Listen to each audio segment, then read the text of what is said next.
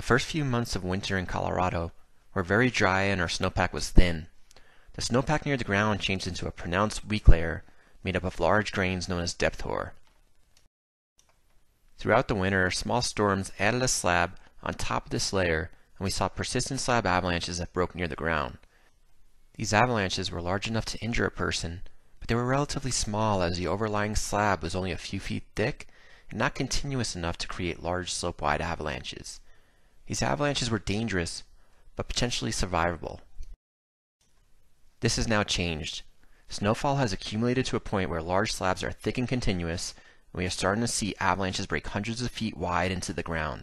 The character of these very large and dangerous avalanches is known as deep persistent slab avalanches.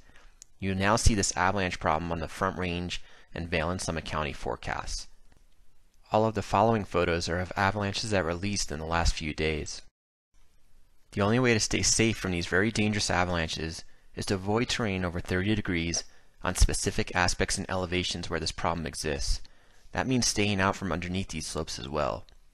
After every snowfall, we may see an increase in these large avalanches. As we go into periods of nice weather, we might not see any avalanches or observe any other obvious signs of instability, but the chance that you can trigger a large and deadly avalanche will remain. The snowpack this winter is unlike the last few winters.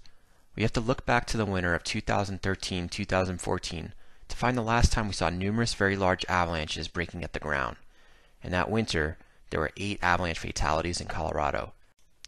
The previous winter also had a deep persistent slab avalanche problem, and we had 11 fatalities. These avalanche accidents can be avoided by recognizing that this winter is different and avoiding all slopes where we have this problem.